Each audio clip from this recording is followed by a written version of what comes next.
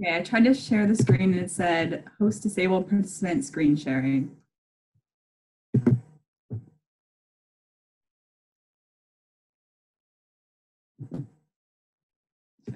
Okay, got it. Okay.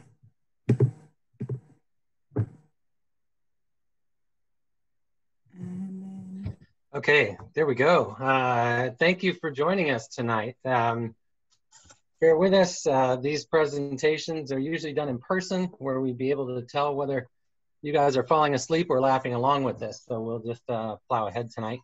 Uh, it's good to see a lot of familiar faces in the digital audience there. Um, Mark Strother, who I was in school with, Christine Lambert, who I accidentally sent an email to a couple of days ago and scared the crap out of her about a project she'd never heard of never heard of. So, um, and Linda Bentz is here with us tonight. She's the one who actually did the artifact analysis uh, on the um, on the Asian American artifacts that you'll see us talking about tonight. So, um, might be able to bother her with some questions tonight. So, um, so uh, as you mentioned, um, uh, I'm an archaeologist with PanGIS. I've done a lot of work in San Diego. The photo here on the right is actually from my first presentation for the SDCAS, uh, which was about a 19th century fishing boat uh, that we unearthed along the waterfront in Little Italy. Um, and for the project we're gonna share with you tonight, I handled the historic research and the report writing. Next.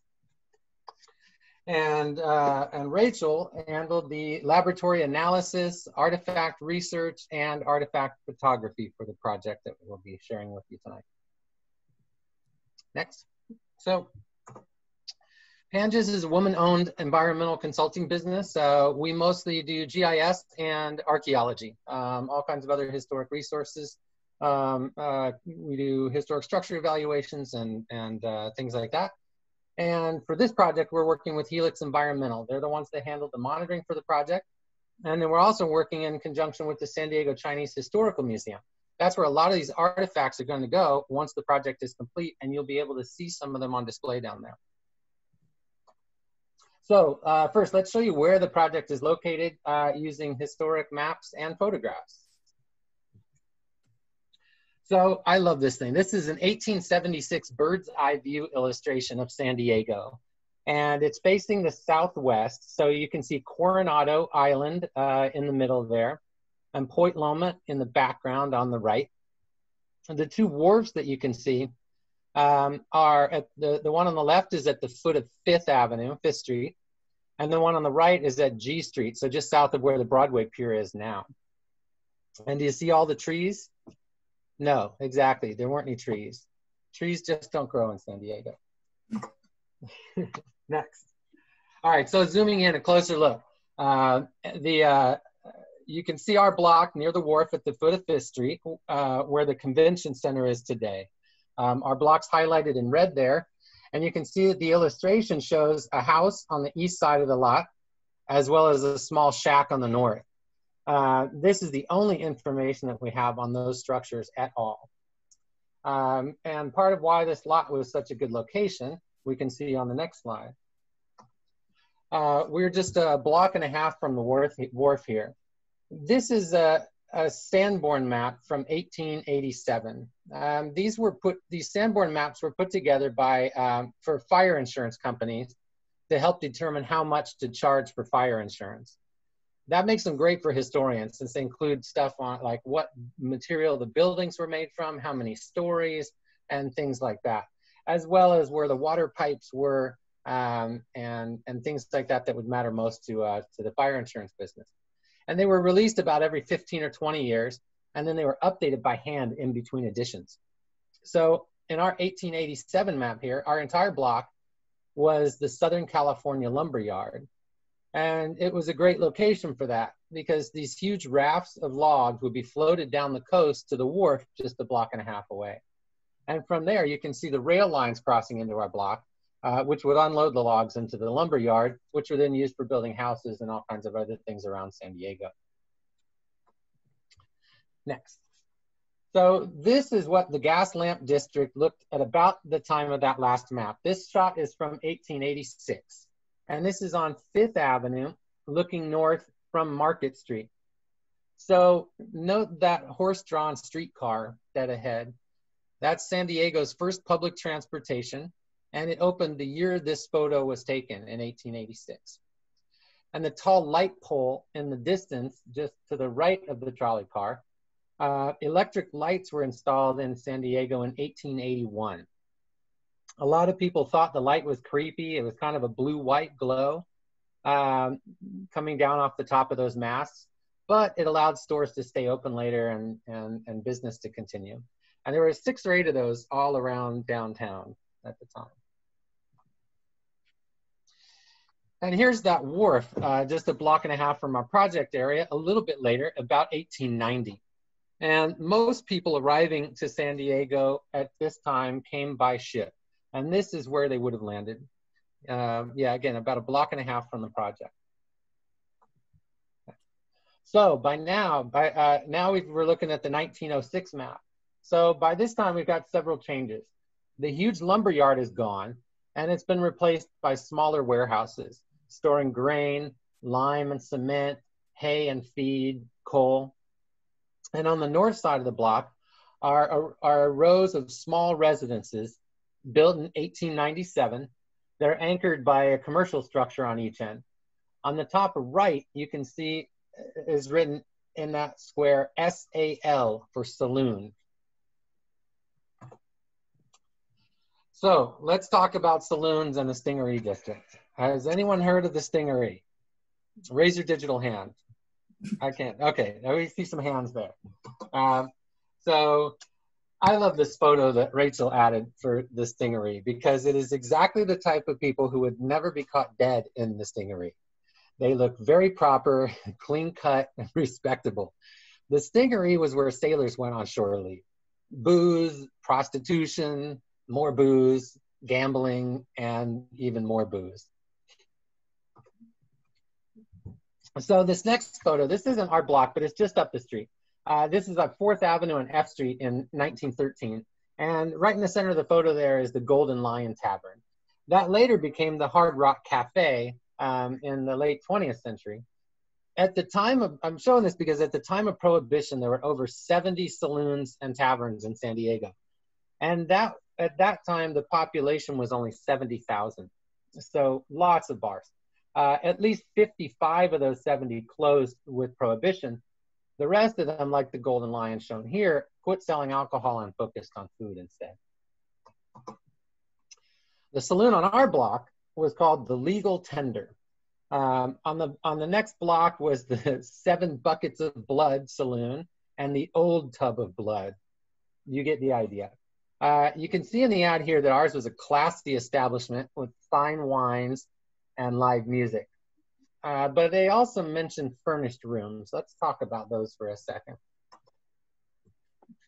Because uh, at least some of those were probably occupied by prostitutes. Other researchers used census records um, to map prostitution in, in the Stingaree in the red light district. The map on the left is from 1900 and shows one prostitute on our block in the bottom left corner there between J and K Street. On the right is the 1910 map and we're up to 12 prostitutes living on our block. Notice that just across the street to the north from where we are is the highest concentration, um, 45 in 1910. So nice ladies in the city wanted the Stingaree cleaned up, especially with the 19 and 1915 to 1916 Expo, the World's Fair coming. So the city put Walter Bellon, the health inspector, in charge. Um, he first did a survey and wrote up his findings.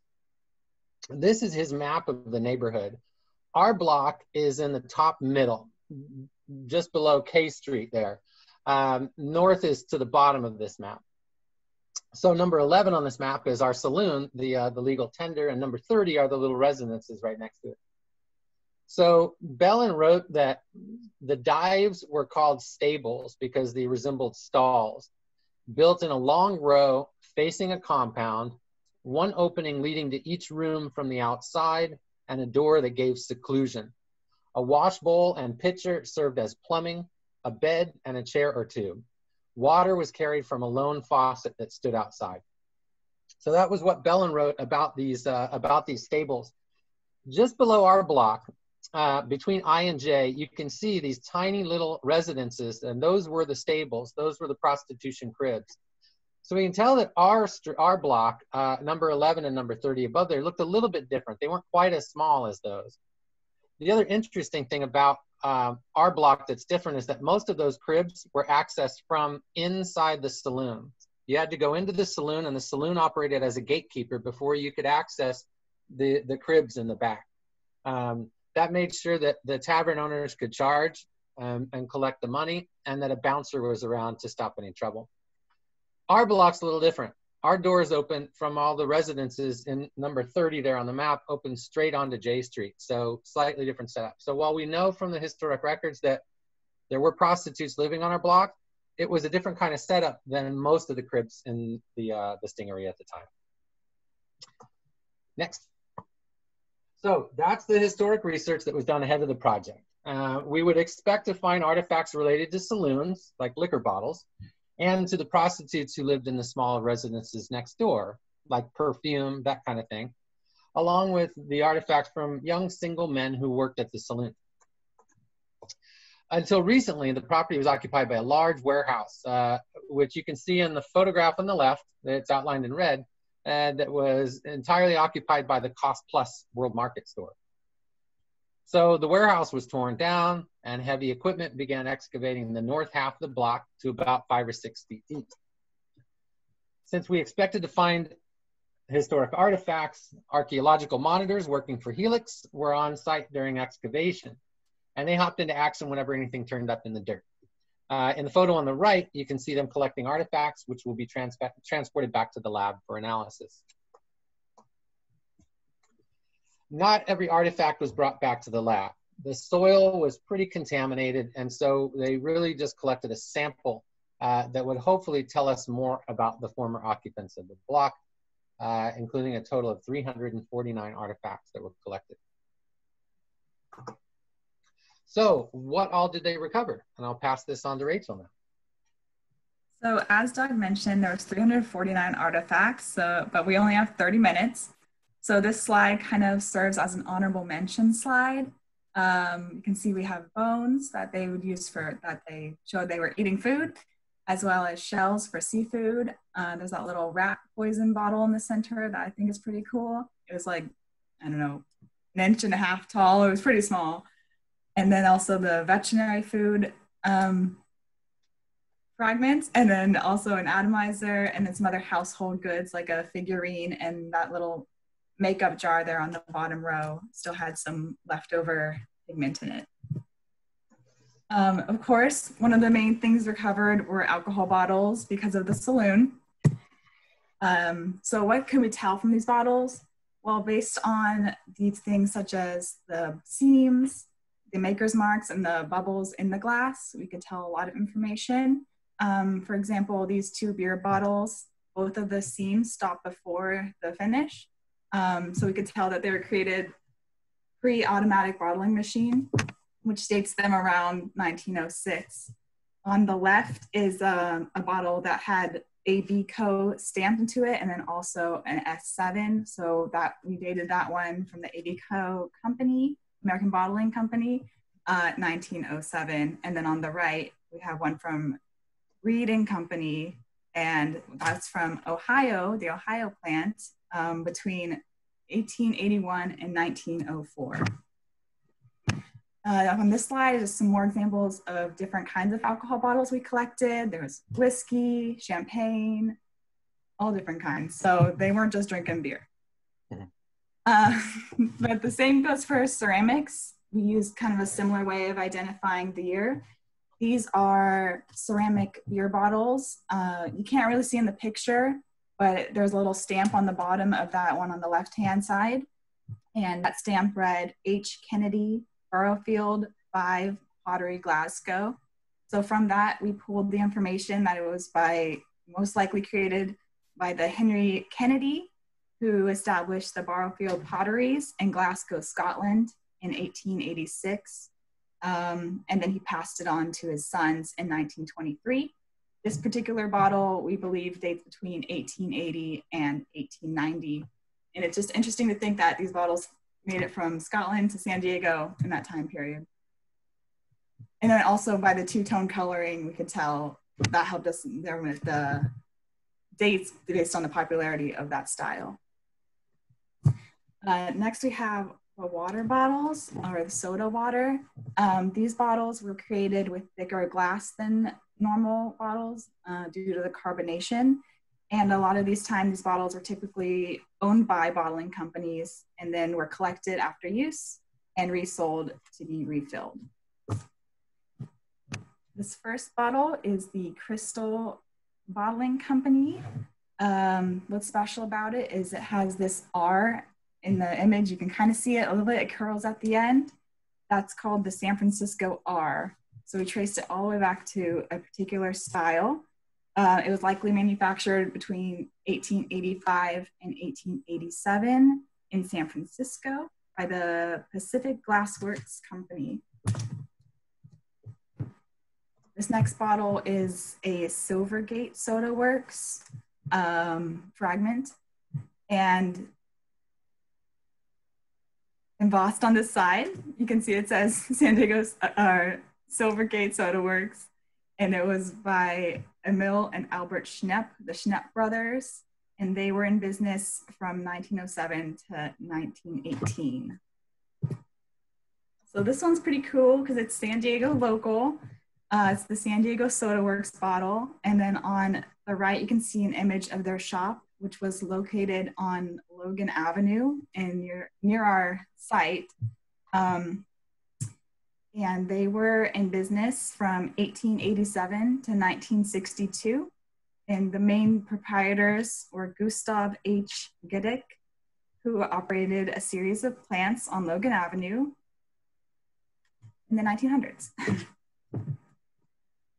Um, Monarch Soda Works, we had a little trouble with this one to locate because they were only in business from 1913 to 1915. They dabbled in the soda creating company. Um, it was originally created by Abraham Haydes, who was a tailor originally, and then him and his son Maurice decided to dip their toes into Soda Works uh, but only for two years. And then after which they moved on to North Park and started a trucking company, a truck, a truck line. This bottle here is a round bottom, round bottom bottle, tongue twister. and they were also known as a ballast bottle because they were shipped along ships um, as a ballast. Uh, not on this particular artifact that we covered, but on another one, there was a large T embossed on it from uh, Belfast, Belfast, Ireland. So they also traveled a long distance to make it here to San Diego. And they're popular in the 20th century. The round bottom was used to encourage people to lay them on their sides so that way the cork wouldn't dry out. Okay, so in addition to alcohol bottles, and soda bottles. There's also other consumer bottles. Um, this is one of my favorite bottles. It's the Welch's grape juice bottle. It's a tiny four ounce bottle. Um, Welch's was founded by Thomas Welch in 1869, and it was originally used as a alternative to altar wine at churches, so it's non-alcoholic. Uh, it became very popular after the 1893 World's Fair, and then even more so in 1910s during the temperance movement. Uh, this particular bottle was likely manufactured between 1893 and 1906. And then there's a little historic ad there on the right hand side. Next, we have chili, some chili powder. Um, Gebhardt's chili is actually still sold in stores today. So you could go find some out there. It was originally created in Texas in, 19, in 1896. Um, and then they began advertising and becoming more popular in 1908. And then for this bottle, we dated it between 1896 and 1906. Uh, here we have some cough syrup, which in the ad you can see is very popular with the children. um, which is, you know, I guess back then it would be popular with children. It was full of morphine and alcohol, and it claimed it could cure tuberculosis, whooping cough, and influenza. So, you know, it's a cure all with some morphine and alcohol. Can't go wrong. The kids love it. Yep. uh, next, we have Burnett's cocaine hair. Um, they had cocaine was all the rage during this time period, um, but this product doesn't contain cocaine, so that's how it was able to continue being produced after the 1906 FDA sweep, which um, you know was like they no longer allowed cocaine in products. It mainly contained coconut oil, and that's where the coca comes from. Uh, and then this particular bottle fragment was probably from the 1980s to or 1890s, sorry, to the early 1900s. and I like the ad and like the price. So you can see the price there was 50 cents and $1 per bottle. Uh, this here is the our what we recovered on the left hand side of the screen is a tiny fragment of the Ferris and Ferris bottle. So then above the above image is pulled from the internet of what a full bottle would look like. So there's a lot about this Ferris bottle here. Uh, if you can see in the background, there's the Ferris and Ferris prescription ad. And then in the foreground is Buffalo Bill and his wife that came to San Diego for a parade that day. And so they just happened to get photographed right in front of the Ferris and Ferris drugstore. And then inside the store, we can see there's this rare image of the inner store, and it says, The Ferris store is equipped to give service. And as you can tell by the image, they can give you any service. They got some animal skins that you can purchase, a crane, a stuffed crane on the right hand side, and then it's a pharmacy. So they, you know, just like your everyday CVS, it was everything you could think of. And this pharmacy was actually run by Gregory Peck's father. Uh, it was established in 1888 and it was located adjacent to our site on 5th and J Street and it later moved to Fifth and Market. It was one of the first 24 hour pharmacies, so it was open both day and night. And there would be a bell you can pull, and it would call the pharmacist down. And it served as both a post office and check cashing. And, you know, the famous actor Gregory Peck, he was one of the delivery boys. So if you wanted, you know, your farm, your pharmaceuticals delivered to you, you could have got a famous person delivered to you. Uh, this bottle here is the Palmer perfume bottle. It's kind of hard to see in the image, but you can see the slight embossing of Palmer. It's easier to see in the images on the right hand side of the screen where they have it in the paper labels. It was a popular perfume at the time that was established by Solon Palmer in Cincinnati, Ohio, and then later moved to New York as it grew in popularity. He passed down the company to his son in 1892, and then it closed in 1947. So it did have a long run, um, but closing in the 40s. And this is the cream Simon bottle. It was, it's theorized that it might have been used by a prostitutes on our block. Um, it's a skincare cream and it was very popular. Everyone advertised it. The a famous opera artist was one of the first to give it a good thumbs up from saying she loved it, made her skin look beautiful. Um, and it was sold global, globally. So it was a French brand, but it was sold all over the 20th century. Cool.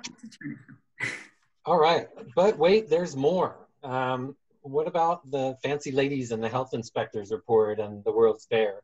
Uh, so in 1912, the police raided the Stingaree arrested all the prostitutes and tore down all the stables.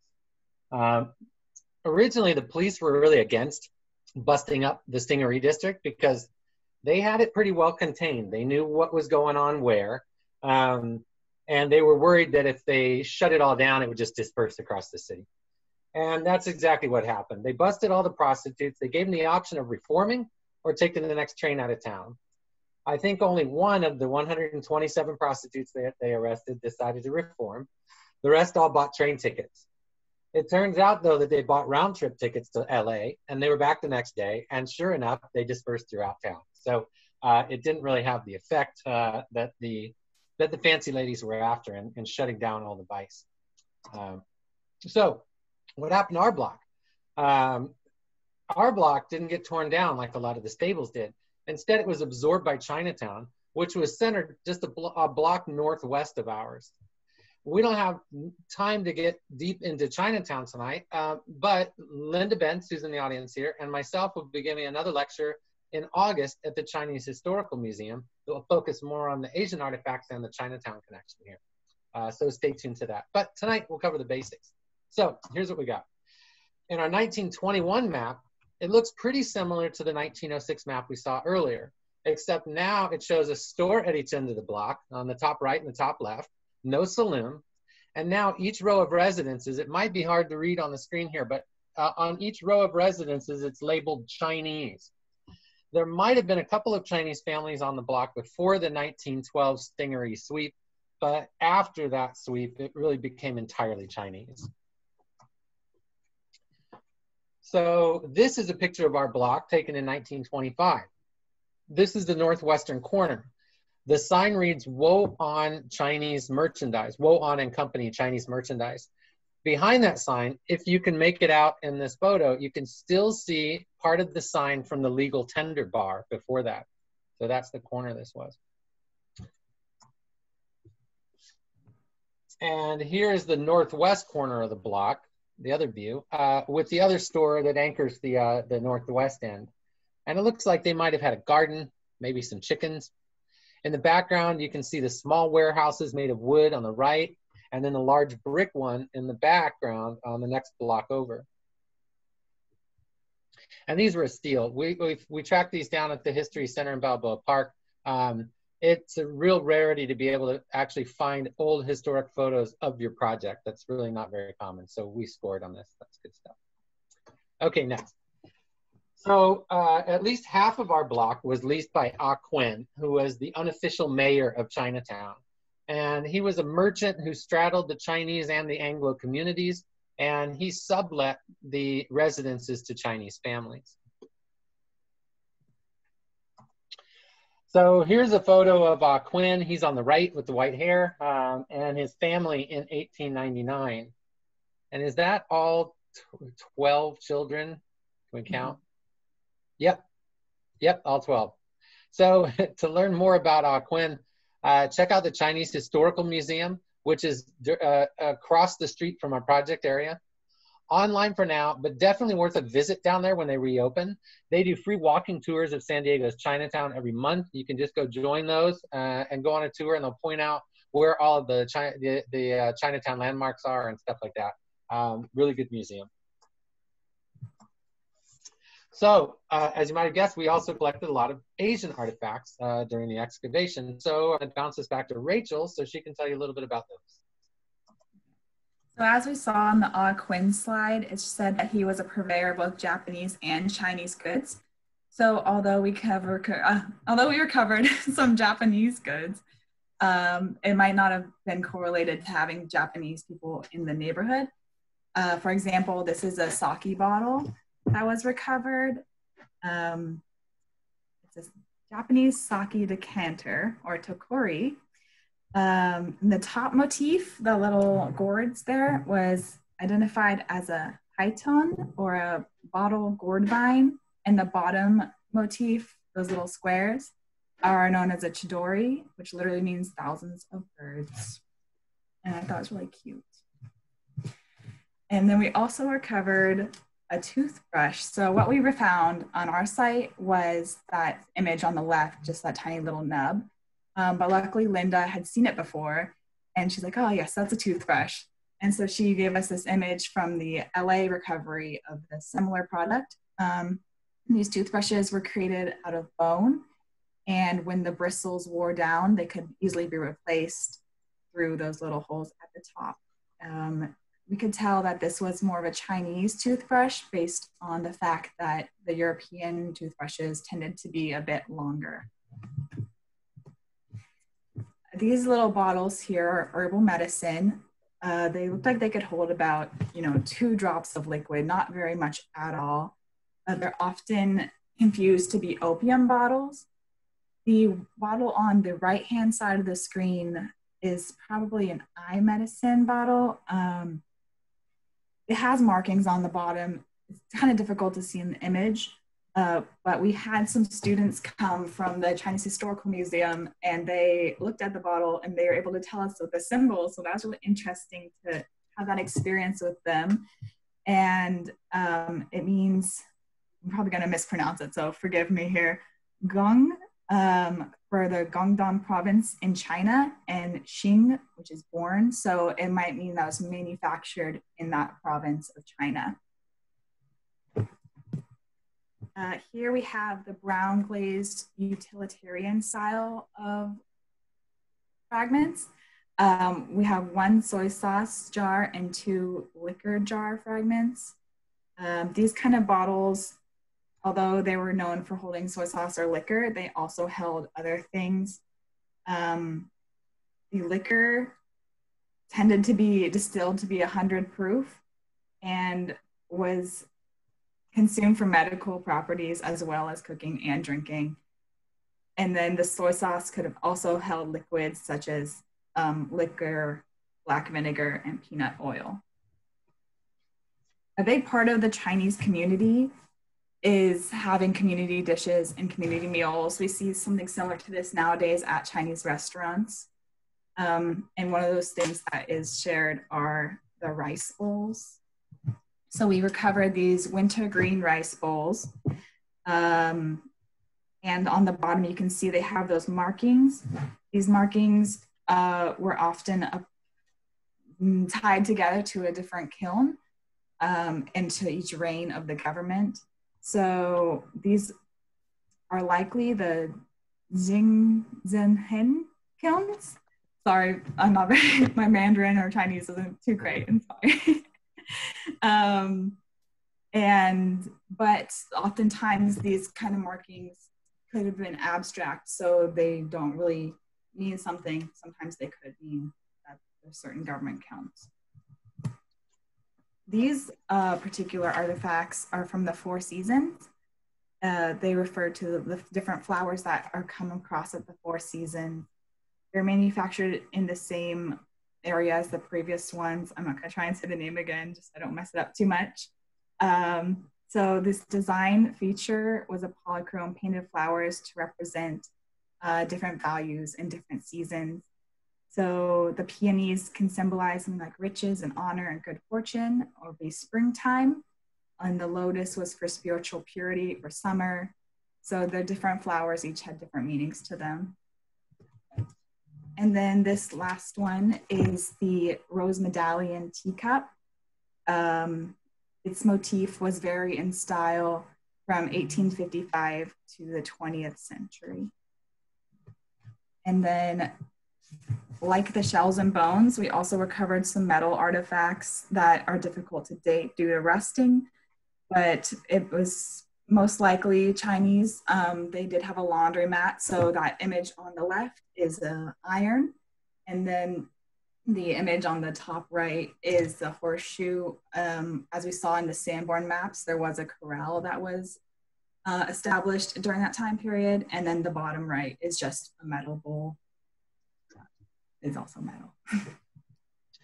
cool. Uh, thank you, Rachel. So moving forward, what happened? Uh, when did the Chinese families leave? So next. That's right. So here we have the 1946 Sanborn, which was the next one published. Uh, so in 1925, shortly after those photos of our block were taken, all of the structures on the north half of the block were torn down and a single large warehouse was put up in their place, along with an adjacent parking lot. The 1946 Sanborn map here shows that warehouse uh, and is labeled Beer Warehouse and Montgomery Ward Company. The, uh, the main Monkey Ward store was a few blocks away on Broadway. Next. So it's interesting to see how much this part of San Diego changed in a relatively short period of time. This shot here is from eight, oh, go back please. That's right. So this, this shot here is from 1887. So not long before our residences were built. It shows Fifth Avenue looking north from Market. You've got dirt roads, telegraph wires, horse-drawn carriages. It looks like an old West town, right?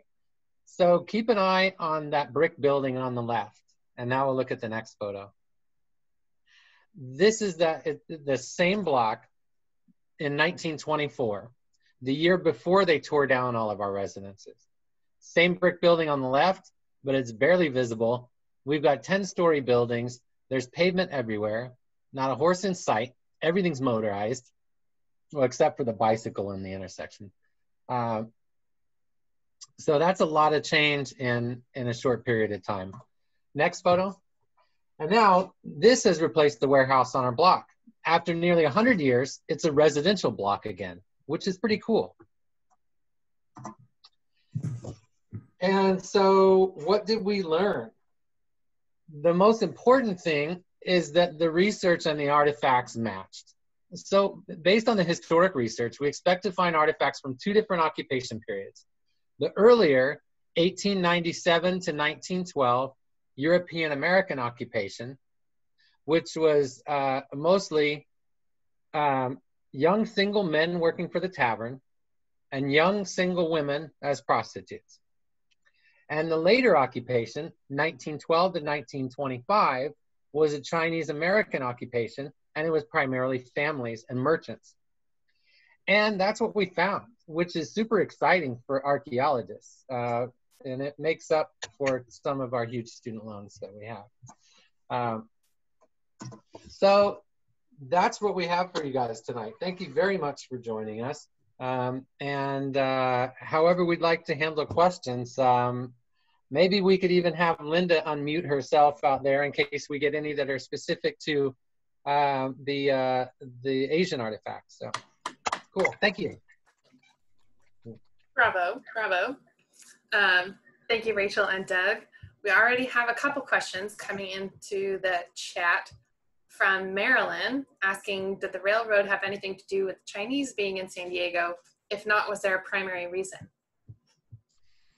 I'll take part of this and then I might kick it over to, uh, uh, to Linda. But the, the short answer is no, it didn't have to do with the railroad down here. Um, the, uh, that was mainly in Northern California. Uh, the rail lines we had here, we had in the 1880s, we had a line going up towards LA. Um, but we didn't actually have our main rail construction here until the San Diego and Arizona in 1917. And so it was already a much different world by then. Uh, and that was after the Chinese Exclusion Acts and a whole bunch of other stuff. So, Linda, do you want to pop in on why they were here since it wasn't the railroad? Sure. So Thanks. the um, earliest Chinese that came to San Diego were in the fishing industry, and uh, they started out having uh, fishing camps out at Ballast Point. And then when New Newtown was built, they moved they moved into town. But it was a very lucrative industry. They were building Chinese junks in San Diego, and so that's why they originally came there. And then they um, expanded, and then you have your Chinatown, which has your merchants and um, there's families there. There's all kinds of all kinds of industry there. So I hope that answers the question. Thank you. Okay, what else you got? Uh, from Christine, she said, "What are the standard protocols for dealing with the contaminated soils? Mentioned recovering yeah. 100 artifacts, and how many do you estimate were not recovered due to some type of contamination?" We might let Mary pop in here. Um, Rachel and I weren't involved in the actual recovery of the artifacts. Uh, that was handled by Helix, so we didn't show up until after everything had already been collected.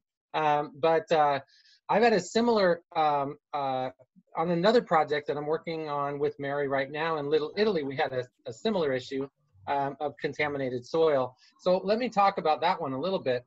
We had a gas station that was built on there later, so there was all kinds of uh, fuel storage tanks.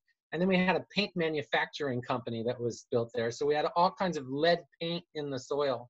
Um, But just the fact that our artifacts are in the soil because they're old, they're made of lead, they're made of glass, there's all kinds of seepage that's actually caused by the material that we're looking for. Um, typically what we have on a project where we know that we've got some, uh, some old nasty soil like that, we're gonna have um, specialists come out who test the soil. And so us archeologists, we'll do anything from wear special protective equipment like gloves all the way up to full hazmat suits. Um, but we will rely on, on the soil testers to let us know how hazardous that is and how much we're able to be exposed to that. Um, but uh, we're typically touching the soil as little as possible, um, rinsing off our hands, rinsing off the artifacts and all that before that stuff even gets brought to the lab to look at any closer. So um, yeah, do you want to talk about that at all, Rachel? You had the fun job of cleaning some of this stuff, right? Oh On yeah. Project, yeah. Cleaning it, you know, it, sometimes it's a little smelly if it was from a privy. Um, but besides that, it was just pretty, you know, for the ones that we could spray with water, we sprayed with water and made sure we got toothbrush and cleaned them real nice so you can make sure to see all the maker's marks. Um, and with the dry brush, we just did the same, but without the water. Yeah, so uh, at least as far as the other project we're working on, there were a lot of artifacts we did not collect because uh, it was just it was deemed too contaminated, and uh, so we we cherry pick basically, and we collect stuff that we know is going to teach us about the people that were occupying that that area earlier, and the rest we just have to give up. It's not worth our help. So. Yeah. Marilyn also asked if the soil testers are part of our part of your contract or if they're separate and they're separate. Yeah, and that's really handled on a case by case basis. Uh, you know, it's it's not always necessary. It's it's something that that uh, you know with that Little Italy project, we didn't really have an idea of of how contaminated that area would be until I had completed some of that historic research and found out, oh, geez, look at the you know the the the industry that was on this block before we should be careful going forward so um, so yeah that's all really part of the the background research that goes into a project and not just for archaeology but all of the environmental sciences and so we try to know what we're getting into um, so it, it it's pretty typical on urban archaeology projects so pretty much anything i do in the old downtown area we're we're we're considering that because it's pretty likely.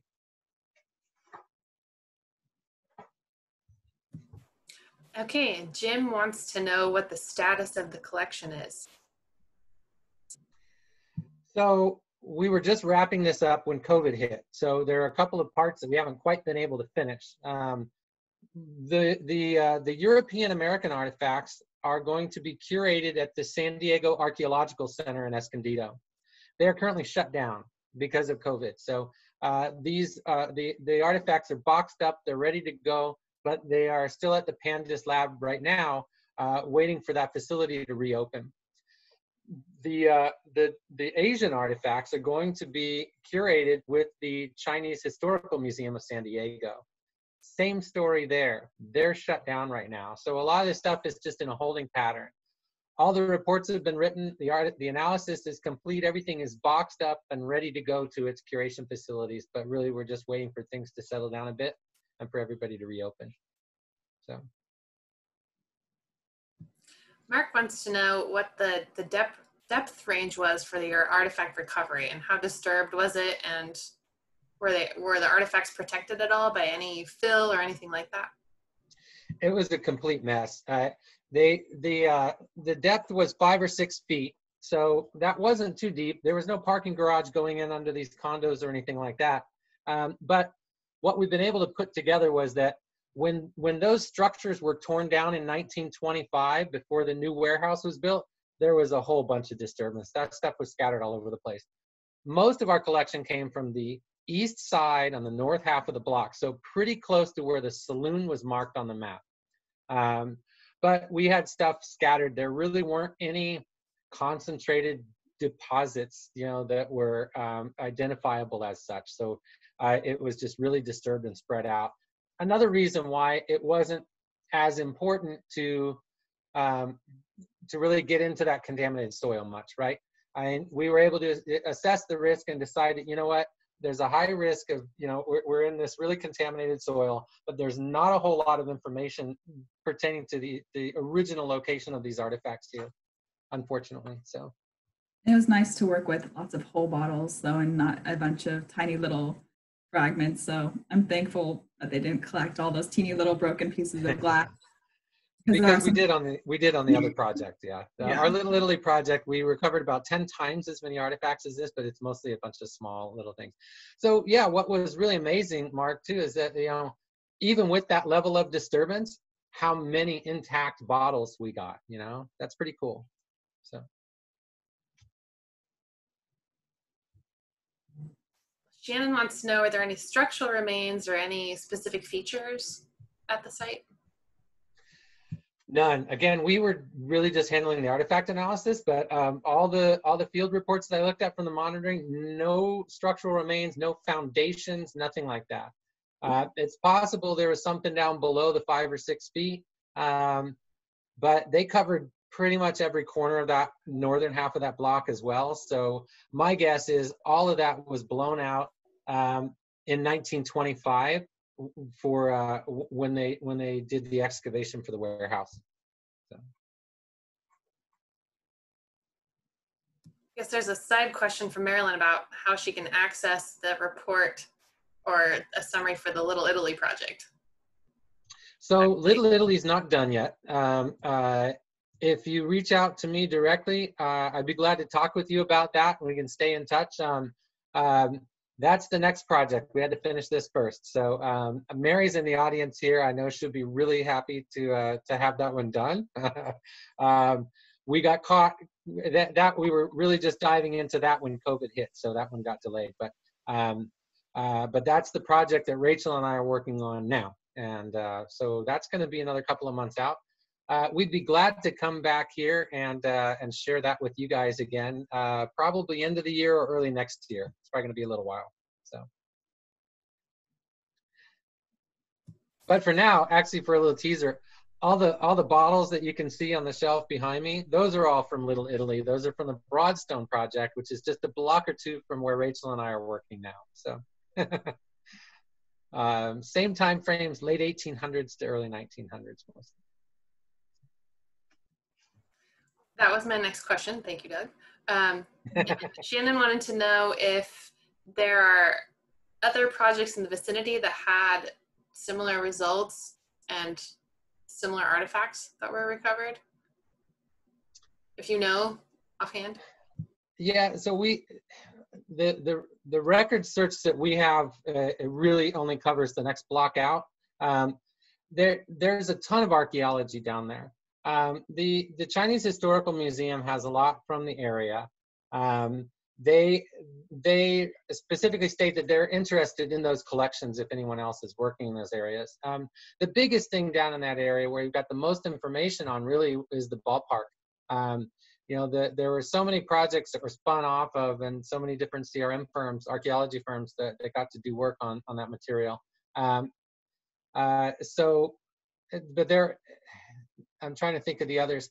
ASM did um, uh, did one of the stable areas just to the east. Um, there, the Levi store. Um, yeah, so there are several down there. Um, your best bet, if you want to, if you want to learn about that, is head to the San Diego Archaeological Center up in Escondido. They have all of those artifact collections and all of those reports. If you're an archaeologist or a historian, you can access those collections if you're not, you can ask the people who work there about them and they will tell you all you want to know. Specifically for the Asian American stuff, check out the CHM or there are a couple of books. Linda might be able to pipe up here um, that will tell you more about Chinatown. So. Yes, hello. Uh, yes, Murray Lee, who used to be the curator at the uh, Chinese Historical Museum, wrote a beautiful book about the uh, about the Chinese community there. Um, if you go to the History Center, there's several journals that have been written about the Chinese, but Murray Lee's book is it's the seminal work. Thank you. Can I pipe up for a minute, Doug? This is Mary. Yes, absolutely. Um, Uh, Athanas and Walter Enterprises also did um, an excavation about a block away from here that was uh, um, a Chinese Hmm. um, site as well. And that report is at um, the Archaeological Center. It's also at SCIC and it's at the historic, the Chinese um, Historical Museum. Um, I believe that it's called On Gold Mountain. I don't remember, but Yep. um, Steve and Susan did a, a really good job on that one. Excellent. Thank you. I see one more question. There was asking if there's any evidence of fires. If there had been, if, if any of the area you were working in had been affected by fire, if you know. No, uh, from from reading the monitoring reports, we didn't have any of that. That that's pretty common. Usually, we'll find signs of fire even if there wasn't, you know, like a structure fire. I mean, because um, prior to city city garbage collection, the way that most people would di- dispose of the trash was they would, well, either they would head into their backyard and throw it right over their fence onto someone else's yard, especially if it was city government property. Um, but otherwise, they dig a hole in their backyard, shove in the week's trash, light it on fire to burn it down and then shove a scoop of dirt over it, tamp it down, and do the same next week over and over again. So we often find these historic trash deposits that are just layers of ash and burnt artifacts. And, and it doesn't mean that a house burned down. It just means that that's how they disposed of their trash. So in this case, though, I, Linda or uh, Rachel, maybe you can correct me, but I don't remember that we had very many burnt artifacts at all. Um, Some of the bone had like a little bit of fire damage, probably from cooking it though. Yeah, and so that could be a, a an issue with selective collection. Um, but uh, but as I mentioned, we didn't find any features or any kind of you know intact deposits like that. So uh, nothing like that for this project. And thanks, Myra. she knows. Um, are there any other questions? Last call for questions. I'm watching the chat. Type fast. Well, if not, then um, I just want to wrap up by saying thanks again to Doug and Rachel. Thank you very much for you joining us tonight. Um, go ahead, Andrew. Hey, it's Andrew Munson here. I don't have a question. I just wanted to say hello, and I miss all you guys at PanGIS, and I hope you're doing good. Thank you. Good to see you. You too. Good job. So um, we'll go ahead and wrap it up, and we'll stay stay tuned for next month's lecture, and keep an eye on the website and your email. And thanks a lot for coming, everybody. See you next time. You. All right, thanks everybody. Thank you, Bye. Thank you. Thank you.